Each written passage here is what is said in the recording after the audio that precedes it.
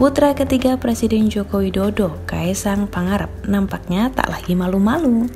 Kaisang Pangarep kini sudah berani pamer foto bareng Erina Gudono. Namun, foto yang satu ini terasa spesial. Kaisang mengunggah foto bareng Erina Gudono tampak belakang. Keduanya kompak mengenakan jersey berwarna merah dengan nama punggung satu sama lain.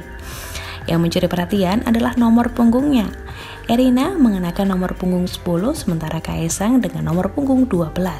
Banyak yang mengasumsikan keduanya akan menikah pada 10 Desember 2022.